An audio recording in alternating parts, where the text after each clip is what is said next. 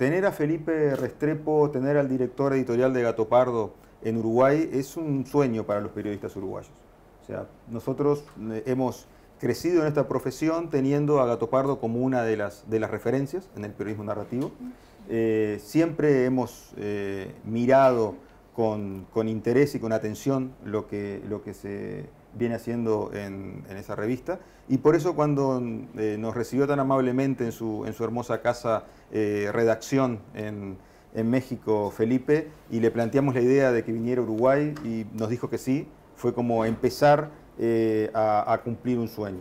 Eh, de la misma manera, los que, los que han colaborado a hacer, hacer posible esto han sido aquellos periodistas que eh, están haciendo el taller y que por lo tanto están siendo parte de, este, de este, esfuerzo. a mí me parece que sería interesante conocer un poco, un poco sobre Felipe este, y conocer eh, cómo ha sido su, trabajo, su trayectoria periodística desde el momento en que él comienza a trabajar en una redacción con Gabriel García Márquez. ¿Cómo se hace para construir una trayectoria periodística con un punto de partida como ese, Felipe?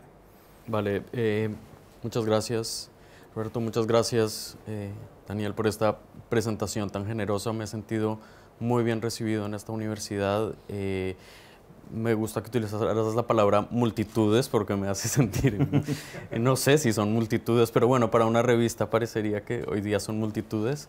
Em, gracias Roberto por su generosísima invitación a su revista.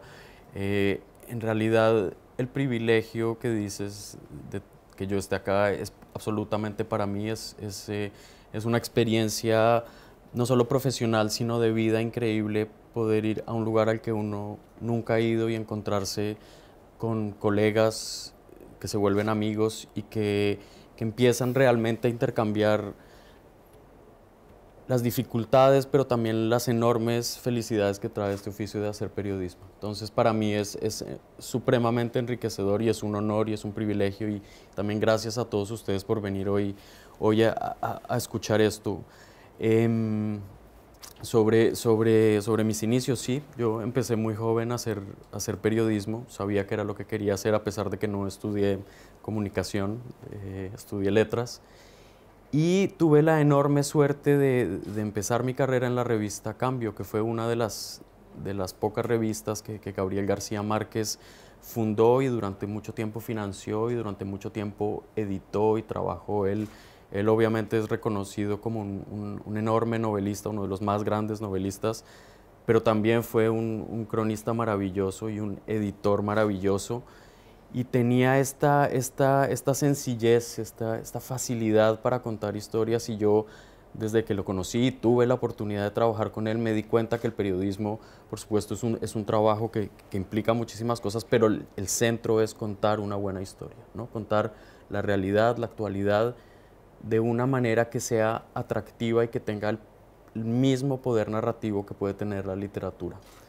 Era, era muy emocionante, él, por supuesto no estaba, no estaba todo el tiempo, la, revista fue fundada primero en, bueno, en realidad es una revista española que se llamaba Cambio 16 y llevaron el modelo a, Colombia primero. La redacción originalmente era en Bogotá, yo soy colombiano, no se nota tal vez por mi acento, pero soy colombiano.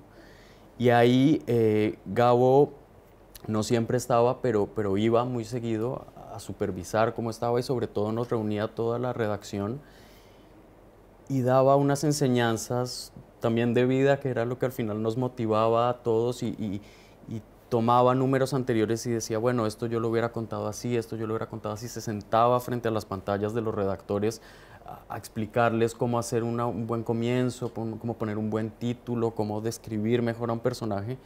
Y eso yo creo que para, para mí y para cualquiera que estuvo ahí fue una, una, un aprendizaje absolutamente invaluable. ¿no?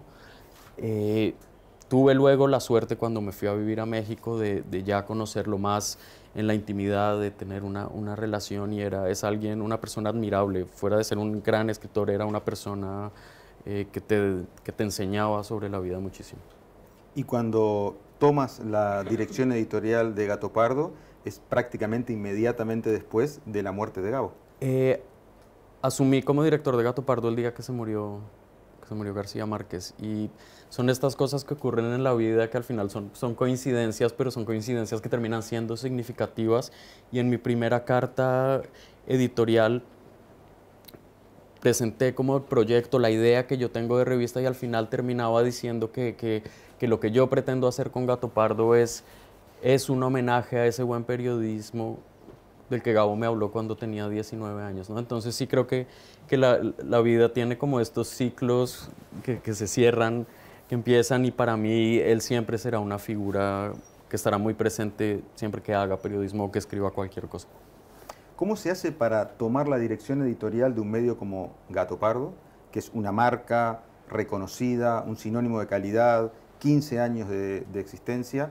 Tú hace prácticamente un año y medio que estás al frente de, la, de la, edición, de la dirección editorial de, la revista, ¿cómo se hace para darle tu propio sello, tu propia impronta y a la vez respetar la tradición claro. que la revista trae? Bueno, quisiera primero antes hacer una breve introducción de qué es la revista para quienes no, no la conozcan. Eh, es una revista que nació en Colombia también hace 15 años exactamente. Justo ahora acabamos de publicar eh, la edición que celebra los 15 años. Es una revista de actualidad latinoamericana contada a través de, crónicas, reportajes, a través del periodismo narrativo, que nació en sus orígenes como una especie de, Vanity Fair eh, latinoamericana. ¿no? Los, fundadores lo que quisieron hacer fue esta revista eh, en que escribieran las mejores plumas del continente, eh, que estuvieran los mejores fotógrafos, que estuvieran los mejores ilustradores y donde se contara Latinoamérica desde, diferentes puntos de vista. Pretendía ser continental y, cuando empezó circulaba el mismo mes en, todos, pues en casi todos los países eh, de Latinoamérica. Desde su primer número, yo por supuesto en la oficina tenemos toda la colección desde su número cero que nunca circuló, eh, era una propuesta eh, impactante ¿no? porque nadie había hecho eso antes en, en, Latinoamérica, nadie había tenido esa idea de unir, de unir a, a los países a través de, historias periodísticas. Por supuesto, la crónica latinoamericana tiene uno, unos, eh, tiene unos antecesores enormes, pero era la primera vez que un medio pretendía agrupar todo eso y pretendía, que fue, que fue una de, las ideas de ellos, que se creara una especie de lenguaje común. Desde luego, los problemas empezaron pronto. El primero de ellos, y, yo me acuerdo de haber estado ahí en los, en los primeros, en los primeros eh, consejos de redacción, era el tema de las tapas, ¿no? Porque buscaban personajes que se entendieran, que se pudieran entender en una tapa, en una revista, en México, en Chile, en Argentina, en Colombia, en Venezuela, y después de mucho discutir, llegaron a la conclusión que lo único que unía a todos esos países eran las películas de Hollywood, que es una cosa un poco delirante. Entonces las primeras tapas de Gato Pardo durante muchos años fueron Tom Cruise, Julia Roberts, eh, Brad Pitt, porque era el único, estábamos, estamos tan desconectados que lo único que nos unía era el cine que se hacía en Estados Unidos. Claro, y un par de personajes como Fidel Castro, como Maradona, que, que, que son referentes mundiales pero si tú, ponías, si tú ponías a un actor mexicano no se iba. Entonces, durante muchos años hicieron esto y, y los problemas de Gato Pardo empezaron a darse cuenta que, que, no era fácil circular, sobre todo desde un punto de vista económico, en todos los países. En el año 2008, 2008 creo, eh, la revista fue adquirida por un grupo mexicano y toda la redacción se trasladó al DF. Yo en ese entonces ya era redactor de la revista, empecé desde, como les decía, des, después de cambio, pasé un rato por un semanal que se llama Semana y luego pasé a, a Gato Pardo, entonces empecé desde, desde ser becario, desde servir los cafés y, y ser un esclavo, como, como se conoce a los becarios, eh, hasta ser director, director editorial. Entonces, de cierta forma, yo soy la prueba de que la burocracia también funciona muy bien en los, en los, en los medios impresos y uno puede empezar desde ser becario hasta ser director. Cuando se adquirieron la, la revista, pues fui el único, el único rastro que quedó de un, de un colombiano y me llevaron a mí a México. Y ahí empecé a ser editor de región, luego editor general, luego me fui de la revista, pero seguí siempre colaborando con ella, a trabajar en otros proyectos y finalmente hace ya casi un año y medio, como dices, me, pidieron que fuera, que fuera el director editorial, que para mí, me preguntas cómo fue, pues lo pensé como medio segundo y dije sí. Eh, y me acordé que cuando yo empecé mi carrera pensaba, algún día me gustaría publicar un artículo en Gato Pardo, ese sería como el sueño de mi carrera. Y un día me llamaron y me dijeron que quería ser el editor editorial, entonces fue bastante emocionante.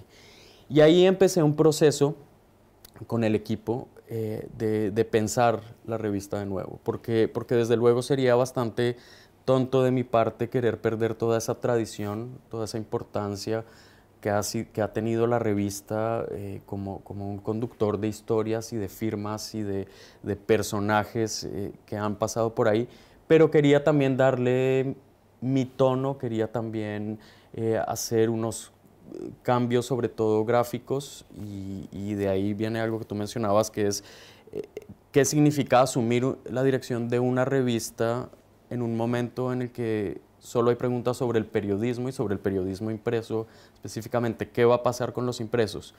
Y después de, mucho pensarlo llegué a una conclusión que, tampoco es brillante, pero es, parece bastante que parte del sentido común y es que las revistas que van a sobrevivir son las revistas que le ofrecen al lector una experiencia única, una experiencia única estética y una experiencia de lectura única, que hay que aprovechar justamente que existe el papel y las posibilidades que da el papel. No tratar de hacer medios digitales en papel, ni tras, no, es una experiencia única y tiene que hacer que para el lector esa revista sea un objeto de deseo, un objeto que quiera conservar, un objeto que pueda permanecer en su escritorio meses o incluso años y que la vuelva a tomar y que la vuelva a leer y que siga siendo vigente. Y que sea lo suficientemente bella, lo suficientemente bien editada, lo suficientemente bien fotografiada para que no sea una experiencia de inmediatez, que simplemente, como pasa con tantas revistas, que no estoy diciendo que esté mal, que solo están hechas para ser, para ser ojeadas. Justamente Gato Pardo, la Gato Pardo que pretendemos hacer es una revista que permanece en el tiempo y eso le da al final un sentido de universalidad que creo que es lo que hace que, que, perdure y que no se agote tan rápido. Entonces fue, fue un trabajo de, al principio muy intenso de pensar página por página, cómo era el tono, cómo era el, clima que iba a tener la revista, qué íbamos a ofrecer. Y, en los últimos años la revista, por estar en, en, en México, que es un país que es casi un continente en sí mismo, se había mexicanizado un poco y había perdido había perdido la, la idea original de ser latinoamericana y esa, esa, fue una de mis primeras ideas. Volver a hacerla una revista que tuviera peso y presencia en otros países y, y, de ahí también viene la idea de volverla a traer a Uruguay, de que vuelva a estar más presente y así me gustaría que se replicara en todos los demás países de nuestro continente. Por eso también la editora Conosur, por ejemplo. Y claro, tenemos una, una, una editora que, es, que estaba en el Conosur, pero cuando yo asumí le pedí que fuera editora para Latinoamérica, que es una periodista de la que tal vez han oído hablar, que se llama Leila Guerriero, que escribe, escribe más o menos bien. Eh, y em, también otra de las cosas que a mí me, me interesaba o me, me, sigue interesando en la revista es, por ahí han pasado firmas consagradas, una, una generación de grandes, de grandes escritores, empezando por, por Sábato, por, ¿no? por los grandes, por Tomás Eloy Martínez, por Juan Villoro, los, monstruos del periodismo latinoamericano. Luego una, una generación en la que está Leila, en la que está Diego Enrique Osorno, un poco más jóvenes. A mí me gustaría que empezara a publicar en Gato Pardo una generación de mi edad o incluso un poco más joven que yo, que, empezara a hacer periodismo narrativo y que se interese por el periodismo narrativo y por esta manera de contar las historias diferentes. Entonces esas con esas ideas eh, en la cabeza arrancamos ya cosas mucho más puntuales como que la portada tuviera una unidad, como, como cosas muy técnicas, eh, al final que no vale la pena detenerse tanto acá, pero, pero que sí reflejaran algo, un nuevo momento. Creo que los medios necesitan de vez en cuando renovarse, de vez en cuando reinventarse y era el momento para hacerlo y dije, bueno, si, si me despiden en tres meses, no me importa, al menos traté de hacer la revista que yo quiero hacer y la revista que creo que funciona. Es que si uno mira las portadas de Gato Pardo, puede ver claramente cuándo empieza Felipe Restrepo a ser el director editorial. O sea, las últimas 14, 15 portadas tiene una personalidad en términos eh, de imagen y en términos de propuesta periodística que es buscada. Es buscada, claro. Por supuesto, no creo, y no es falsa modestia, no creo que sea por Felipe Restrepo. No, es un equipo. Las revistas son un trabajo en equipo y yo tiene el mismo, o sea, yo tengo la responsabilidad de asumir, de tomar algunas decisiones finales, pero todo lo hacemos en equipo y es un equipo de gente extraordinaria y ahí sí, ahí sí yo haría muy mal en, en, decir que, que, soy solo yo. Justamente yo soy solo una pieza de, un engranaje enorme y que afortunadamente todos tenemos una visión muy similar de lo que queremos, una, una sensibilidad muy parecida y unas ganas de hacer un producto que tenga una calidad para las multitudes eh, que, que, realmente, que realmente tenga impacto. ¿Cuánta gente trabaja en, Gato Pardo? Somos una multitud, somos ocho. Eh, somos ocho, por supuesto, pero, pero somos, tenemos la revista ahorita que estaba explicando cómo funciona, tiene una red de colaboradores de freelance, de periodistas freelance en todo el mundo. Quiero decir, porque tenemos, son, son periodistas eh, hispanoamericanos, pero que están, que están en todos lados, ¿no? en África, en Asia, en Estados Unidos y, mi, mm, son, por supuesto, publicamos sobre todo historias latinoamericanas, pero también publicamos historias del mundo escritas por, por hispanoamericanos. ¿no? Justamente en la edición anterior tenemos una historia sobre, sobre la frontera entre España y Marruecos, escrita por un español y fotografiada por un español, que es extraordinario. ¿no? Y ese es un ejemplo de, también de esa apertura que yo quiero darle en cuanto a los temas de la revista. Eh, hablamos de tu editora para América Latina, ex editora de Conosur, Leila Guerriero. Y Leila escribe, un perfil no es la mirada de la mamá, el hermano, la novia o el novio del entrevistado. Un perfil no es lo que el entrevistado escribiría sobre sí, porque ese género ya existe, se llama autobiografía. Un perfil es por definición la mirada de otro, y esa mirada es siempre subjetiva, donde subjetiva no quiere decir artera, donde, subjetiva no quiere decir vil, donde subjetiva no quiere decir miserable, donde subjetiva quiere decir la mirada de una persona que cuenta lo que ve o lo que honestamente cree ver. El punto de vista. Sí, así el punto de vista. Em, eh, yo creo también un poco, un poco yendo hacia el futuro del periodismo, que, que lo que tiene valor hoy día en un mundo que está lleno de información y que nos bombardean de información a diario, es presentar piezas periodísticas que tengan voz y que tengan punto de vista, que reflejen la visión de alguien que te está contando desde su punto de vista, no desde una supuesta objetividad. Creo que para todos los que estamos acá, la objetividad dejó, es un tema del cual dejó de hablarse hace cierto tiempo, afortunadamente. Es una subjetividad, pero una subjetividad honesta. Y en ese sentido creo yo que, el periodismo que me interesa, a mí sobre todo, no es el que pretende dar la versión oficial de los hechos, ni el que pretende presentar una verdad única, sino que pretende presentar una visión subjetiva contada de la manera más precisa y más cuidadosa de un hecho en particular. ¿no? Entonces, para mí el valor del periodismo narrativo es que presenta voces y lo que yo hago en la revista es hacer un mosaico de voces y a través de eso entender una realidad, una actualidad, el mundo en el que vivimos, contarlo desde diferentes puntos de vista y a veces son puntos de vista que se que chocan o que se complementan, pero al menos crean un discurso entre ellos. Y creo que eso es lo que debe hacer una revista, presentar un, discurso eh, polifónico de la actualidad. ¿Qué, eh, ¿Qué, distancia hay entre, entre lo que te planteas en un, en un número y lo que luego eh, obtenés al, terminarlo y recibir la, la, la revista impresa? Sí, bueno, para quienes están estudiando y están empezando esta carrera, eh, debo asustarlos un poco y decirles que este es un oficio en el que se sufre muchísimo y en el que se trabaja con ideales, ¿no? ideales de lo que quieres. Y que muchas veces esos ideales, sobre todo porque es un trabajo en el que la presión del tiempo es muy importante, en el que se necesita muchísimo dinero, muchísimo presupuesto para lograrlo, no siempre se pueden alcanzar esos ideales y toca toca a veces eh, bajarse de un poco de esa nube, de esos sueños de hacer, de hacer cada edición perfecta y hacer, tratar de hacerla, tratar de hacer brillar sus imperfecciones, ¿sabes? Y, creo que sería un poco ingenuo incluso para los editores de los medios más grandes del mundo creer que cada una de sus ediciones va a ser perfecta y no va a tener...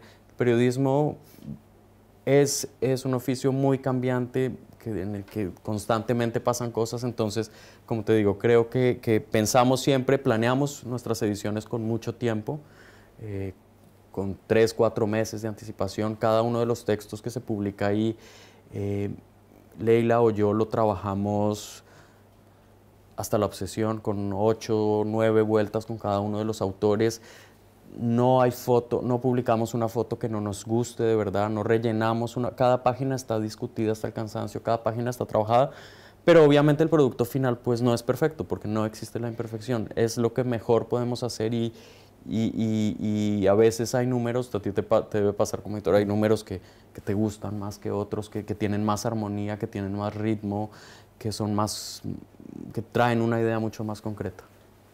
Y, el Felipe Restrepo, periodista, en tanto autor de artículos, eh, ¿ha, logrado sobrevivir al Felipe Restrepo editor? No, se murió, se murió completamente.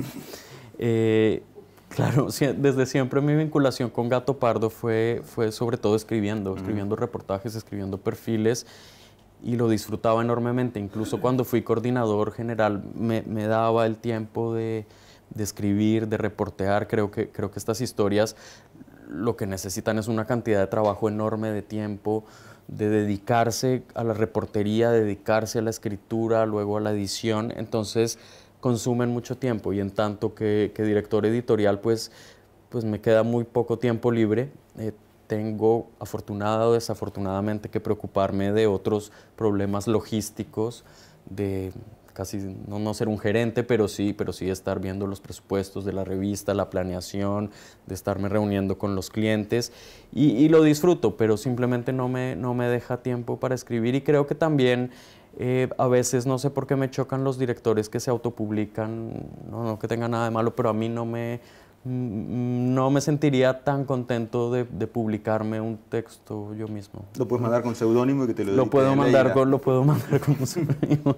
Leila Restrepo puede ser un... El problema, es que si, el problema que si Leila te lo rechaza.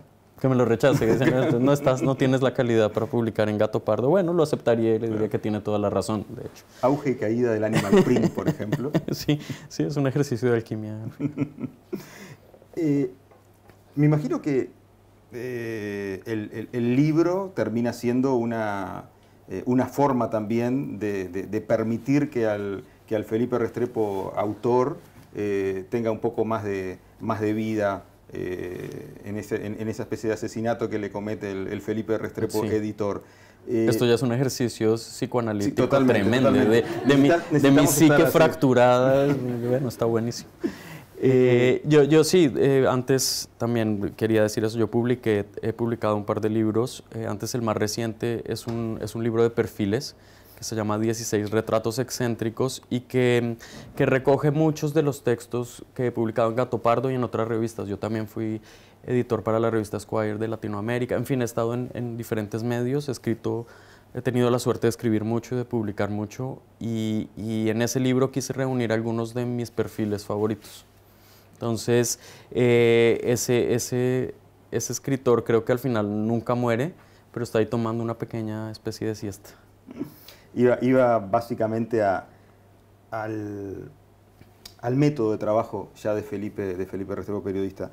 Eh, ¿cómo, ¿cómo, es tu método de trabajo a la hora de comenzar una nota? Leila dice, yo primero tengo que tener el título.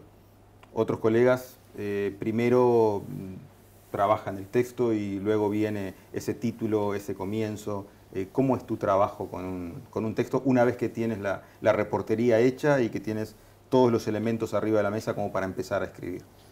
Bueno, creo que, quienes están tomando el taller que estamos, que estamos haciendo acá se han dado cuenta que, que, mi, que, que soy muy cuidadoso en las metodologías de trabajo, porque creo que este, que este oficio requiere mucho de talento, requiere mucho de valentía, requiere mucho de buenas ideas, pero requiere sobre todo de rigor, ser riguroso en cómo se arma el ejercicio de la reportería, luego cómo se piensa la estructura de un texto y luego cómo se lleva a cabo la escritura de esa estructura que se planeó. Entonces, eh, trato de no empezar a escribir sin haber terminado la reportería es decir, que siento que en el tiempo que tengo destinado a eso he conseguido todas las fuentes, las mejores fuentes, que he agotado todos los documentos de archivo, que he leído todo lo que se debe leer sobre eso, que he averiguado todo lo que está en mi capacidad para averiguar.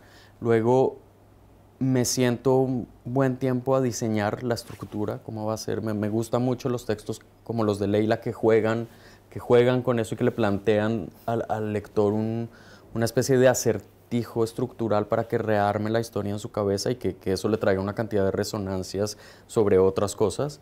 Y al final me siento a escribir, que también es un, es un proceso terriblemente triste y doloroso porque, porque cuesta mucho, porque cuesta mucho y y con el tal vez tal vez cuando uno es más joven es más irresponsable con la escritura y, se, eh, y se, sienta y escribe rápido, escribe cualquier cosa y publica cualquier cosa. Eh, que está bien, está bien, está bien, pero, pero cuando uno se va haciendo, creo, un poco más, más consciente de, de, del peso que tienen las palabras y del peso que significa publicar algo, empieza a cuidar mucho ese, ese trabajo y a, a pesar cada una de las palabras que utiliza, a pensar diez veces cómo estructura cada párrafo, cómo los párrafos juegan entre sí, cómo los textos tienen un ritmo interno, una, una lógica interna. Y al final no puedo decir que haya una metodología para hacer algo porque creo que cada texto tiene su forma de ser trabajado. Y uh, digo, hay autores, sí, como Leila, que no tienen que poner el título antes o tienen que poner la primera frase antes. Yo, por lo general sufro mucho com comenzando, entonces solo escribo, escribo, escribo, escribo, escribo, y de pronto hay una frase en el medio que me, que me gusta y que me dicta el tono que va a tener todo el texto. Y empiezo a reescribir a partir de esa frase. Y también creo que el, que el ejercicio de escritura es un ejercicio de reescritura constante. ¿no? Retrabajar, retrabajar, leer, darle tiempo al texto para que repose, volverlo a trabajar, volverlo a trabajar, pulirlo en un ejercicio de, de, de, de, ya absolutamente artesanal, de que no le quede que no le quede ni un cabo suelto, que no le quede ni una esquina sin trabajar, sin pulir. Eh, en tu libro de, perfiles eh, hay uno sobre Ingrid Betancourt. Eh, creo creo que, hay una frase que más o menos, un par de frases que ilustran eso que acabas de decir. La observo mientras toma un té antes de empezar nuestra charla. Levanta la taza con un gesto delicado y se la lleva a la boca casi en cámara lenta. Adelanta los labios y entrecierra los ojos. Sus rasgos finos, como de ave exótica, se marcan. La, la, observación, eh, de, qué, ¿de qué manera la observación forma parte del método también? Yo creo que es una parte fundamental de, cualquier eh, escritor, saber observar, saber entender lo que pasa. Y yo le, digo a los chicos del taller que muchas veces por las mismas condiciones en las que vivimos en estas ciudades caóticas, en este mundo en el que digo que hay tanta información, nos empezamos a cerrar en nosotros mismos y no ver lo que pasa en el mundo. Yo creo que un periodista debe ser un observador de lo que ocurre a su alrededor y debe también se los digo en el taller, no ser un juez de lo que ocurre, sino un narrador. Que pase, mostrar, no, no decir esta persona es buena o mala, sino estas son las razones que llevan a esta persona a ser así. Y eh, ese, ese perfil en particular, el de Ingrid, es un, es un trabajo que a mí me costó mucho hacer. Ella es un, un personaje sumamente controversial en Colombia. Y desde que empezó su carrera, yo la empecé a seguir, que es otra de las características que, les digo a los chicos del taller que hay que tener y es que hay que ser un poco como un stalker de personas, perseguirlas y llamarlas y buscarlas y sentarse frente a su portería, espiarlas. Y eh, me interesaba mucho Ingrid, era un personaje que me interesaba y me interesaba en el sentido que, que no sabía qué pensar sobre ella. Y de ese no saber qué pensar sobre ella nació mi interés de escribir sobre ella, porque escribir también es explicarse a uno mismo las cosas. ¿no? Y entonces empecé a, a, a, buscar información sobre Ingrid, a informarme sobre Ingrid. Tenía una carpeta en mi escritorio que se llamaba Ingrid, e iba metiendo ahí artículos, notas, eh, no debería contar esto en público, súper vergonzoso, eh, fotos, eh, y, eh, y hablar con gente sobre Ingrid, sobre Ingrid Betancourt. Cuando la secuestraron, por supuesto me generó mucho más, más interés y empecé ahí sí a seguir el caso día a día, ¿no? Todo lo que se publicaba, todo lo que alguien decía, todas las pruebas que aparecían sobre el, el secuestro de Ingrid, si estaba muerta, si no estaba muerta. y finalmente la liberaron. Cuando la liberaron, dije, tengo que entrevistar a esta mujer. Y empecé esta labor de buscarla, hablándole a todo el mundo que podía darme alguna pista. Eh, y la respuesta que recibía eh, en general era, no, Ingrid está con el Papa, ¿no? Ingrid está con YouTube, Ingrid está, ya sabes, Ingrid está, no, no quiere hablar contigo. Y yo seguí insistiendo, insistiendo, insistiendo, insistiendo. Una, una tarde estaba en México, no me acuerdo del año exactamente, 2007, 2008, en fin, y recibí una llamada del jefe de seguridad de la Embajada de México, de la Embajada de Francia en México. Me dice, señor Restrepo, eh, Ingrid Betancourt va a estar unos días acá, sabe que usted la persigue y, eh, y quiere, quiere que la entrevisten. Entonces yo, por supuesto, como un periodista súper serio, abrí esa carpeta y empecé a subrayar, a buscar preguntas y yo quería hacer una, una entrevista muy confrontar a Ingrid, ¿no? Preguntarle muchas cosas que yo sentía que aún no se le habían preguntado y, descubrir quién era ella. Llegué al día de la entrevista con mis preguntas, con, yo siempre preparo un guion con las preguntas que le voy a hacer a mi entrevistado y aparece esta mujer guapísima, inteligentísima, seductora, y me empezó a seducir y yo básicamente olvidé las preguntas y terminé casi abrazándome tomándome una foto con ella y diciéndole que, que era fantástica. Bueno, no, eso es una caricatura, sí, sí, le, hice, sí le hice preguntas, pero cuando, cuando regresé a mi casa a desgrabar lo que había hablado con ella, me di cuenta que había ahí muchos huecos, que había ahí muchas cosas que se encontraban. Entonces empecé un trabajo de fuentes, eh, en este caso hice el trabajo de fuentes eh, después de la entrevista, y creo haber hablado con unas 40, 50 personas en Colombia, en Francia, en, que me daban esta imagen que yo no había logrado eh, captar estando con ella. Y efectivamente pasó lo lógico y era que la versión de ellos era absolutamente diferente a la versión de ella. Entonces, teniendo ya este material, le volví a escribir le dije, Ingrid, tengo esto, esto, esto, esto, ¿qué me puedes responder? Ella muy amablemente me respondió, me dio su versión sobre todo. Y yo empecé a escribir un texto en el que me tardé mucho, cuya intención era mostrar justamente esta, esta, esta persona indefinible. Estaba exótica. Estaba exótica, como, como la describo un poco cursi ahí. Eh, decir, como quién es, quién es ella, porque ella piensa esto de ella, porque ella, ella proyecta esta imagen y porque hay todo este espectro de personas. O sea, logré conseguir personas que estuvieron amarradas con ella en el secuestro y que me contaron cosas muy fuertes y quise construir un perfil que al final creo que es lo que debería hacer cualquier perfil y es presentar los, los claroscuros que tiene cualquier persona. El, el rayomón sobre Ingrid eh, eh, sí, todo lo, un poco, sí, un poco eso, todas las versiones que puede haber sobre Ingrid Betancourt se publicó el artículo, se, se, lo envié ya publicado.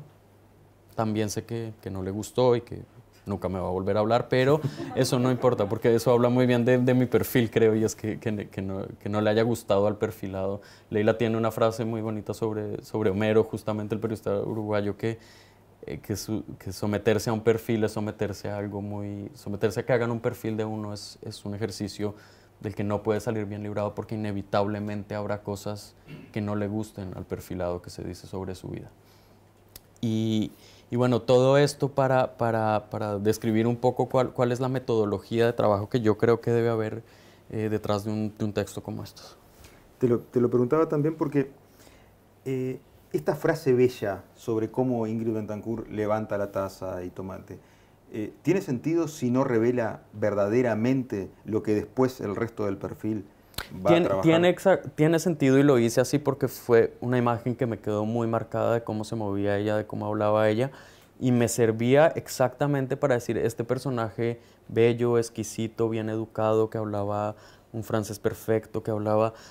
también es una persona que, según contaban las, las otras personas, hizo unas cosas terribles. Eh, en Francia abrieron una fundación de gente voluntaria que trabajó varios años por su liberación, que organizó toda una campaña de medios, que levantó dinero y al, a las dos semanas de ella ser liberada fue donde ellos les dijo, les pido el favor que no utilicen mi nombre nunca más ustedes no saben quién soy yo, no pueden utilizar mi nombre. Entonces quería contrastar, contrastar eso. Y también, también algo que, que, decía al principio, empecé a escribir este perfil porque no entendía, tenía muchas preguntas sobre Ingrid y al final, después de publicarlo, tengo aún más preguntas. Entonces, no sé, tampoco se, termina, pero lo que creo es que, que también se vale generar esas nuevas preguntas y también en el caso particular de ella me parecía que, que, entender lo que pasa por, una cabeza, por la cabeza de una persona que estuvo siete años secuestrada en la selva, dos de ellas encadenada a un árbol, es imposible para cualquiera de nosotros. ¿no? Esto es un, un intento de entender qué puede pasar allí, pero al final nunca nadie lo va a comprender. ¿Consideras que es el perfil que te generó mayores dificultades? Sí, sí, sí. me, me, me costó mucho, me costó mucho eh, escribirlo, me costó mucho decir cosas dolorosas que se dicen ahí, escuchar a la gente que me, que me contaba, y, y, más que por el personaje de Ingrid, por, por lo terrible que puede llegar a ser el mundo, ¿no? de, que pasen estas cosas a ella, sea o una buena o mala mujer, no importa, pero le pasó algo realmente espantoso. Y también, también pretendo, cuando publico algo así, es, es revelar que ella es ella es el, protagonista de una historia de infamia terrible y contar esa infamia me parece importante en nuestra labor como periodistas. ¿En, quiénes te miras como, espejo en tanto, en tanto periodista? En, aquel García Márquez que, tuviste la fortuna de, trabajar con él en tus inicios, en alguno de los maestros actuales como una migaja del pan que comía al desayuno García Márquez, me veo de ese tamaño. Eh, mm, eh, digo, no sé, soy un, siempre he sido un, gran fanático de, Truman Capote, me parece que es un autor fantástico. Eh, me encantan los escritores que hacen novela de no ficción, creo que es un género que me gustaría intentar algún día. Eh, y, bueno, están, lo que te digo, Martín Caparrós es para mí un, referente. Uno de los primeros talleres de periodismo que, yo tomé en mi vida fue con Martín Caparrós, me marcó enormemente. Tuve la suerte de tomar un taller con Tomás Eloy Martínez, el último que él dictó eh, en Santiago de Chile, y fue, fue una experiencia inolvidable.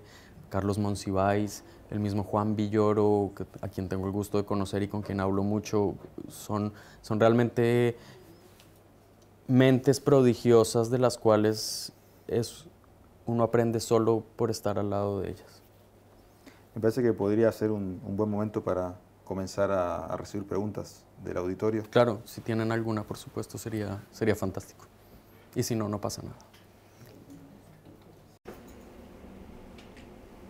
Mientras, se, van, organizando los, este, las preguntas, eh, yo te comentaba ayer mientras salíamos del taller un acto de justicia poética que, uno de los, de los textos que trajiste eh, fuera eh, una suerte de homenaje de Leila Guerriero a Homero Alcina Tevenet, uno de sus, de sus, maestros admirados, y que, y que, bueno, que nosotros que queremos eh, conocer lo mejor del periodismo narrativo, en realidad lo que nos está llegando... Regresando, es, un maestro, es un maestro uruguayo, claro, tiene que regresar por ese extraño por esa extraña forma que sea un texto de Leila que yo presento en un, en un, Es un texto muy bello que se llama La lección de Homero y que, que yo siempre le aconsejo a, a, cualquier periodista que conozco que lo lea, porque dice, no solo cuenta la importancia de Homero, sino dice cosas muy profundas sobre el oficio de, de entrevistar personas y de perfilar personas. Escribir era un proceso terriblemente doloroso y triste. Quería preguntarte si disfrutabas a la hora de escribir. Sí, claro, sí, no, tiene razón, soy un payaso, por supuesto que no es, por supuesto que, que, que es un proceso más que, que doloroso, es un proceso que te que me parece que si se hace bien, exige muchísimo de ti mismo. Y es, es, es, eh, es, agotador en extremo, es demandante en extremo eh, para quienes creemos en, en, la, buena escritura, al menos en la escritura rigurosa, requiere muchísimas horas de trabajo, pero, pero también, no estoy diciendo acá tampoco ninguna verdad revelada, produce un enorme placer, un enorme placer poder terminar una pieza, poder publicarla, que alguien se te acerque y te diga, leí tu texto y me gustó esto o no me gustó esto. Es, no, sé si sea, también tendrá una enorme carga de vanidad, pero es, es, una, es una muy bonita, es una de las sensaciones más bonitas que yo he experimentado. Publicar un texto y ser leído y, y de cierta forma expresar lo que quiero decir. Entonces, es doloroso en el, en el, en el mismo proceso, en el momento, pero a la hora de que lo tienes, me no tengo hijos, pero me imagino que, que, puede ser de cierta forma equiparable, ¿no? Tú creaste esto, esto está en el mundo porque tú lo hiciste y tiene mucho o poco significado, pero algo tiene. ¿no? Y, y, y, creo que para, para quienes escriben, para quienes publican, se empieza a volver, no, no, no, una, no, no una adicción, pero sí una forma de vida y es un, es un oficio que es absolutamente mm, absorbente. ¿No? Creo que, que, para quienes aman la escritura no se pueden imaginar su vida sin escribir.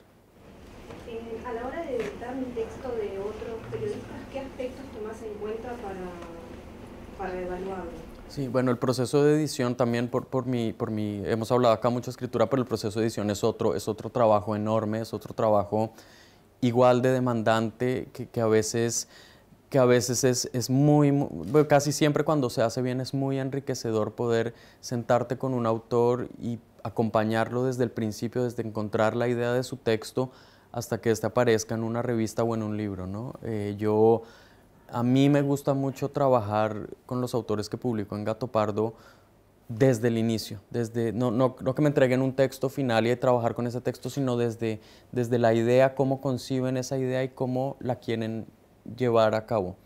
No siempre se puede por, por, por el tiempo, porque hay autores más accesibles que otros, pero, pero cuando ocurre, cuando el trabajo de editar un texto funciona, fluye, es supremamente gratificante porque, porque creo, hay unos editores que, que creen en, en, reescribir los textos o en intervenir demasiado. Yo creo que, que, la labor de un editor es sobre todo potenciar la voz de ese autor. ¿no? Y es sacar del texto que él propone lo mejor posible y quitar las cosas que sobran. ¿no? Y requiere, requiere al final muchísima muchísima, no, no, no, sé, sería, no sé cuál es la palabra exacta, pero, pero mucho cuidado, porque es, es, el trabajo de alguien que le ha invertido su alma, que le ha invertido tiempo de trabajo, que cree en eso, y tienes que encontrar la manera de, de, que, de, no ser, de no ser destructivo con el trabajo de edición que le haces. ¿no? Hay muchos editores que creen en que hay que tratar mal a los autores y decirles que son unos idiotas y que tienen que rehacer todo eso se puede decir de una manera educada y de una manera sutil, le puedes decir a alguien que eso, pero ser muy cuidadoso con cómo, cómo se lo dices y cómo se lo presentas y sobre todo eso, que el proceso de edición no sea para el autor un, un, un, una tortura, sino sea al contrario la, la, la manera de encontrar caminos que no había encontrado cuando estaba escribiendo. Entonces, disfruto mucho también el trabajo de edición y, he tenido la suerte de ser editado por personas como Leila, eh, que, que, que, realmente te hacen, te, te, confrontan con tus ideas. Y cada frase que pones ahí te dicen, ¿por qué estás poniendo esto? Entonces hago, acompaño al autor en el, en el, en el proceso, la idea me entrega una versión, eh, una primera versión de su texto, en esa le hago una edición que yo llamo general, y es decir, le, le, le, hablo de la estructura, le hablo del orden que tiene su texto, le hablo de, de, cosas muy generales, luego le pido que haga una o dos versiones nuevas a partir de eso y al final hacemos una edición que es línea a línea, ¿no? Es como ver aquí esta frase funciona, no funciona, acá debe haber una coma, dos puntos, aquí este párrafo está muy largo, acá está esta cita, este diálogo no funciona, porque no subes esto? Y vamos armando juntos esta, esta máquina perfecta que debe ser un texto, ¿no? Una, una máquina que funcione, que no se, que no se vea detrás los tornillos y los engranajes que hay que, y que avance como un tren a toda velocidad. ¿Cómo se trabaja con los egos en ese, en ese proceso cuando el autor es, una, es un autor ya con trayectoria? Con... Mira, mi experiencia, que es, es, es eh, no sé si es única, pero, pero quienes me han sido más fácil de editar son los autores consagrados. Los autores jóvenes, sobre todo que no están acostumbrados a trabajar con esa metodología, ¿no? porque, porque desafortunadamente en los medios latinoamericanos se ha perdido la, la la imagen del editor como un guía del autor. Entonces, sé incluso, por ejemplo, en México hay diarios donde los reporteros ellos mismos están subiendo las notas. O sea, llegan, escriben la nota y la suben sin que nadie lo lea, sin que nadie lo edite y eso a mí me parece un horror. Entonces hay muchos periodistas jóvenes que además se creen un poco más de lo que son, tienen todavía esa misma inseguridad, tiene cierta soberbia, entonces les cuesta mucho que tú le digas esto no funciona. Y me, he tenido a veces que decirle de plano hay que reescribir el texto. Y, se sienten muy mal y se enojan y te dicen que van a ir a otra revista a publicarlo. Es normal, creo, es normal porque, porque, porque los confronta y confrontarse a uno mismo nunca es fácil. Eh, en cambio, no sé, por ejemplo, cuando, cuando editaba Juan Villoro, que tampoco tiene mucho que editarle, también es cierto, eh, le mandas, le dices, mira Juan, esto, esto, esto, esto, esto, y dice, perfecto, tienes toda la razón, y lo trabaja. ¿No? Eh, creo que, creo que, que, es entender también el oficio, saber que, te, que alguien que quizás no es un, un, autor consagrado como tú, te puede editar y te puede decir buenas cosas sobre tu texto y te puede hacer mejorar el texto. Mi trabajo de edición es una mejora, no es, no es el editor poniendo sus, sus, cosas ahí por capricho, es porque ve que hay cosas que pueden mejorar muchísimo. Más allá de lo ocasional, ¿crees que eh, los cronistas freelance hoy pueden llegar a vivir de eso, de publicar crónicas en Soho, en Gato Pardo, en Etiqueta Negra, en El Malpensante? ¿La respuesta políticamente correcta o la respuesta real? Creo que es muy difícil. Creo que es muy difícil que alguien hoy viva del periodismo freelance, pero no es imposible. Creo que... cuatro cinco que lo logran? Sí, que lo logran y a quienes todos conocemos, pero, pero en México, por ejemplo, hoy día hay mucha gente que ha decidido vivir del freelance y digo, no, no son millonarios, sino andan en un Audi y no tienen eh, a menos de que trabajen en la noche en otras cosas, no tienen, no tienen, digamos, no son millonarios, pero logran vivir. Ahora, México es un mercado enorme donde hay miles de revistas, miles de diarios. Me imagino que en un país como Uruguay puede resultar un poco más difícil. Em, no, no sé, es imposible. Eh, requiere mucho trabajo, sí requiere moverse mucho. Creo que, que la vida de freelance es muy desagradecida en, en los inicios porque se tardan en pagarte, no te pagan muy poco por una nota en la que has trabajado mucho, te cuelgan, ¿se entiende colgar acá? Colgar las notas que no te la publiquen, eh, que, te, que te maltraten, que te cambien tu texto sin decirte, eh, que es una cosa horrible que a veces hacen algunos editores, que es que editan la nota sin el autor y terminan publicando otra cosa con la firma de la persona. Y, y afortunadamente creo, eh, por otro lado, que hay sí están haciendo proyectos, por ejemplo, digitales que tienen presupuesto y creo que, el periodismo narrativo está teniendo cierta, cierto auge en los libros. Están publicando cada vez más libros de, periodismo y creo que ese es, una, ese es un camino. Claro, nadie se va a hacer millonario publicando un libro. Con las ganancias de, mi libro pude pagar dos muy buenos almuerzos, muy, muy ricos, fueron buenísimos, pero, pero dos almuerzos, ¿no? No podría vivir un año de, no podría vivir, no podría vivir ni un mes de las ganancias. Y, y, bueno, es la realidad, es la realidad, pero, pero no, con, no tampoco quiero, quiero ser oscuro en este mensaje. Creo que si alguien lo quiere hacer y lo quiere intentar, y cree que su, que su vocación es ser un periodista freelance porque no le gusta estar encadenado en medio, lo tiene que intentar. Eh, no, tampoco se va a morir de hambre, eso sí es verdad. Tú decías que te gusta más trabajar con un texto desde el origen y no que te presenten ya una idea acabada. Ponernos algunos ejemplos de una idea que te llegó y dijiste, esta idea la quiero trabajar, porque muchos de nosotros somos freelancers y la respuesta normalmente es clic, clic, clic y nadie te responde. Voy a tomar agua. Em,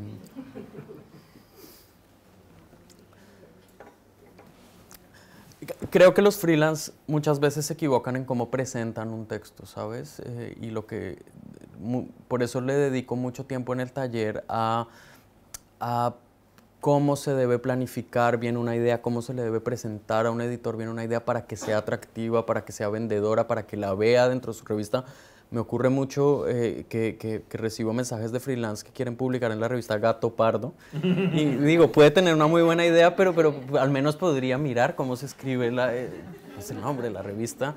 Em, O cometen el error típico de decir, quiero escribir una crónica sobre la izquierda en Latinoamérica, o quiero escribir sobre la violencia en México, o quiero escribir sobre la frontera México-Estados Unidos. Esos no son historias periodísticas, son temas que alcanzarían para escribir 15 tesis doctorales, ¿no?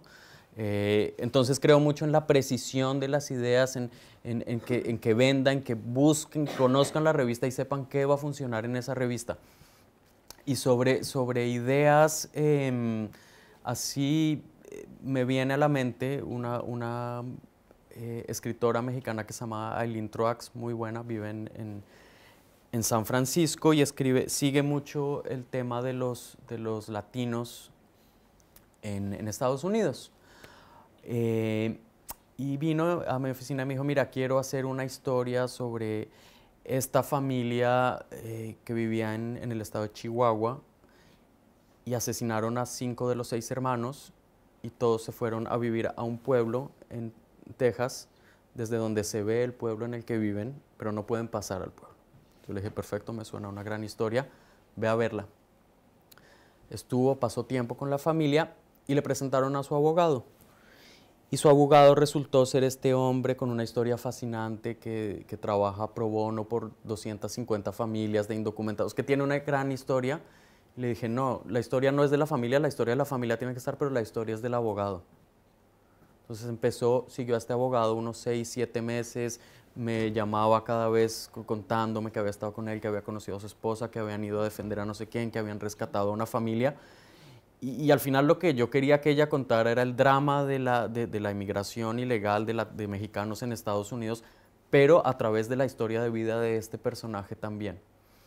Y terminó siendo una historia a la que le dimos 20 páginas, una historia de 50 mil caracteres, eh, impresionante, que a mí me gusta mucho porque nació de una, de una percepción que juntos llevamos a que fuera una historia. Sí, habías dicho que en un momento la revista se había y que uno de tus objetivos era volverla más continental. Realmente, ¿qué hiciste para hacer una revista más continental? Publiqué más historias de otros países. Sí. No, eh, eh, se, había, se había mexicanizado, eh, creo que fue una decisión del anterior director muy acertada porque, porque la revista, su mercado principal es México, que es un mercado muy competido y los mexicanos son un, un, universo muy cerrado y les gusta saber sobre ellos y leer sobre ellos y, para ellos Latinoamérica es una idea agradable pero desconocida. Y querían leer mucho, querían, quería, y, sobre, y sobre todo porque en el momento en que se tomó esa decisión en México comenzó la guerra contra el narco, que es también para mí uno de los grandes temas hoy en el mundo, que es lo que está pasando en ese país y cómo, cómo hay una guerra frontal entre el Estado y un paraestado que son los narcotraficantes. Entonces empezaron a publicar muchas historias de ese universo de, porque eh, no solo es la violencia, no solo son las políticas de seguridad, sino también es la migración obligada de personas hacia otros lugares, el, el, arrasamiento sistemático de territorios en México, y en fin, eh, y por esa razón se publicó y creo que funcionó muy bien. Creo que esa es una, una, situación que ya ha sido cubierta hasta el cansancio y creo que aunque es importante y por supuesto seguiré publicando cosas sobre, sobre ese tema puntual, me gusta abrirme un poco más a contar otras cosas sobre México y sobre todo a buscar nuevas historias que se habían perdido de otros, eh, de otros países. ¿no? Eh, de Uruguay, por ejemplo, creo que en los últimos cinco años o seis años en Gato Pardo se habrá publicado dos notas, me acuerdo pues una obviamente sobre Mujica, como todos los demás medios, como todos los demás medios, y otra sobre, sobre lo apacible que es la vida en Montevideo, eh, y ya. Cosa que desmentiste, viste que era mentira. No, esto ha sido solo emoción desde que llegué. Entonces, entonces, entonces se equivocó Guillermo a publicar esa historia. Guillermo es el anterior director. Eh, voy a hacer una sobre lo, lo intensa que es la vida en Montevideo. Eh, entonces, sí creo que, que, es... Por, y, es un capricho, al final es porque a mí me interesa que haya, que haya historias de todos lados, porque me encanta leer historias de otros lugares. Y ampliar esa, como decía hace un rato, esa agenda no solo a, a Latinoamérica, sino al mundo contado por latinoamericanos. También es muy diferente cómo era de cerrado y de difícil acceder a muchos, a muchos lugares hace 15 años a lo que es hoy. Hoy cualquiera, bueno, a pesar de que hay muchos conflictos y es difícil acceder a muchos lugares, creo que es un mundo que está mucho más abierto y en el que se pueden contar muchas más cosas. Entonces, qué interesante es tener grandes voces latinoamericanas contando lo que ocurre en el mundo. Dijiste que en los comienzos de Gato Pardo lo que nos unía era Hollywood cuando tú lo tomaste, intentaron hacer una, nueva vía hacia la, integración espiritual, digamos, la integración cultural. ¿Has visto cambios en esa, dirección? Bueno, sigo creyendo que Hollywood es lo que nos une. Eh, pero sí, sí, también evidentemente las comunicaciones eh, y la información que circulaba hace 15 años era muchísimo menor a la que circula ahora. Y, y quizás hace 15 años eh, un personaje como Carmen Aristegui en, otros lugares no diría nada, pero ahora por cómo vuela la información y como todo está presente, sabemos más en Uruguay o en Chile o en Colombia quién es Carmen Aristegui. Entonces, siento que sí hay cada vez más personajes que, se entienden, que comparten un lenguaje, pero tampoco son una multitud, justamente, son, son muy pocos. Y a veces sí nos vemos eh, obligados a seleccionar personajes que son muy mexicanos, porque México es un país muy grande y porque es el mercado principal de la revista. ¿sabes? Pero, pero también mi ambición es mes a mes encontrar otro tipo de personajes. La, la etapa anterior es Vic Muniz, que es un artista plástico enormemente conocido en Brasil, es, es, tal vez el artista latinoamericano que más vende en el mercado eh, en el mercado del arte en Europa y en Estados Unidos, que vende a mayores precios e incluso si en México no es muy conocido, yo me, me la jugué por, por, por, ponerlo en la tapa, ¿no? Tuve también a un escritor mexicano que se llama Álvaro Enrique, que nadie conoce ni aquí ni en México. Bueno, no, sí, sí es. Pero a mí me parece que es un escritor que va a dar mucho de qué hablar en unos años y me la jugué por ponerlo en la tapa. Mi departamento de comercial me dijo, estás loco, ¿cómo vas a poner un escritor y un escritor que nadie conoce? No vamos a vender nada. Tal vez no sea la, la, edición más vendida del año. Me decían, ¿por qué no pones al chicharito? ¿Por qué no pones a, no, a, alguien que sepamos quién es? Bueno, ojalá podamos poner al chicharito algún día, ojalá podamos poner algún futbolista algún día que no sea Maradona. Neymar, eh, Neymar estuvo, Neymar estuvo, Neymar es muy famoso. Eh, no, hay, no hay buenos jugadores uruguayos, ¿verdad? no, hay Este, y, creo que también son apuestas, ¿sabes? Y creo que el personaje debe ser interesante y debe estar lo suficientemente bien contado para que si no es tan conocido a la gente al menos le interese saber quién es, quién es ese hombre que se llama Big Muniz que está en la portada y que, que aparece ahí. Entonces, e, es un juego también pero, pero sí creo que nos falta muchísimo en Latinoamérica para, para, para tener referentes comunes. Eh, siento muchas veces que todos los países van para lugares diferentes sin pensar ¿no? que, miramos más a referentes europeos, que miramos más a referentes de Estados Unidos que no, mirarnos a nosotros mismos. Y, y, para mí mismo es una, es una experiencia enorme venir a un país como Uruguay en el que nunca había estado y darme cuenta que, que se sabe muy poco de México y mucho menos de Colombia. ¿Sabes? Y que asimismo cuando vaya a Colombia no se sabe nada de Uruguay, solo Mujica, claro. ¿Cuáles son tus, consejos a la hora de enfrentarnos a, querer contar la historia, a narrar un perfil que sea justo, sin dejarnos seducir de repente por la persona o dejarnos llevar por nuestros prejuicios? Claro, Creo que el periodismo hoy día cae mucho en esto, y esto se los digo en el taller hasta el cansancio, en, en ese camino muy fácil que es decir, hay personas buenas y personas malas, en, eh, ¿no? este es el, el, hombre malo que hizo tal cosa y este es el hombre bueno que fue víctima. Y creo que, que eso no es tan sencillo, creo que, que, que no hay gente ni completamente mala ni completamente buena y que tampoco es nuestra labor definir si son buenos o malos. Es nuestra labor contar por qué llegaron ahí, por qué hicieron lo que hicieron. Y creo que, claro, todos tenemos opiniones personales sobre tal o cual cosa, pero nuestra labor como periodistas es deshacernos de esos prejuicios y no permitir que permeen el texto que está, el texto o el, o el, documental o en fin, cualquiera que sea la producción que hagamos, no permitir que nuestros prejuicios permeen esas piezas. ¿no? Y eso solo se puede subvertir haciendo una gran investigación de fuentes, haciendo una gran reportería y presentando el mosaico más completo de, de lo que encuentras y de los hechos que encuentran. Sobre todo, liberarnos de esa idea del periodismo que juzga o critica, o el periodismo observa, el periodismo cuenta, el periodismo muestra. Y si uno empieza a salirse de ahí, está empezando a cometer errores.